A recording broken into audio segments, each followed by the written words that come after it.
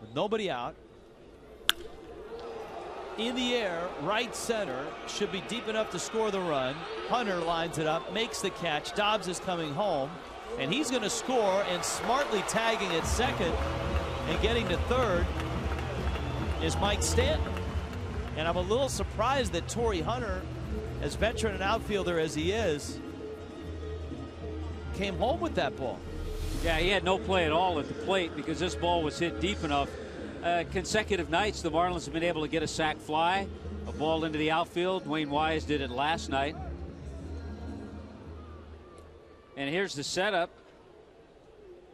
Really surprised because you can see if you're the right fielder, you can see the runner